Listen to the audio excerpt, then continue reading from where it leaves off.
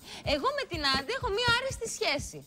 Άριστη. Εσύ. Ο άντρας σου. Την ξέρω από το Άλτερ, μια άριστη σχέση. Ωραία. Εγώ σας πληροφορώ ότι θα έρθει η Νάντια και θα έρθει για μένα. Εγώ δεν καταλαβαίνω τι σοβαρό κατάλαβα. έχει γίνει που δεν θέλει να έρθει. Χωρίς πλάκα τώρα. Εγώ δεν Αυτό το έχουμε καταλαβαίνω ξαναπεί. Το έχουμε πώς ξαναπεί. Για μία Δεν πλάκα, μπορούμε. μία πλάκα. Άλλο είναι το θέμα.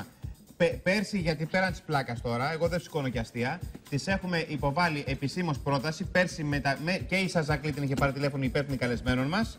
Και η Αλεξάνδρα Πουτσέτη που πέρσι ήταν βοηθός αρχισυντάκτης, την έχει πάρει τηλέφωνο. Τελείωσε είχε πει όχι. το θέμα, Την θα ίδια έρθει. μέρα πήγε στο Μέγκα. Τι δικαίωμά τη Δεν είναι, πήγε δεν τελικά. κακό, αλλά, αλλά να μην λέει γιατί είπε, εάν δεχτώ πρόταση και αν μπορώ.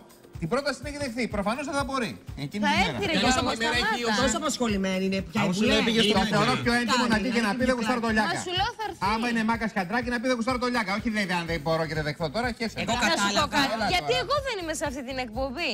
Είσαι, αλλά είναι Εμένα και ο μου άντρας γουστάρει. όμως. Για σένα όμως Ωραία. κάτι. Θα έρθει Όταν για γίνει μένα. μια στάση Απεργία, εργασίας των απεργία. δημοσιογράφων Να και εμείς οι επαγγελματίες δημοσιογράφοι θα είμαστε εδώ,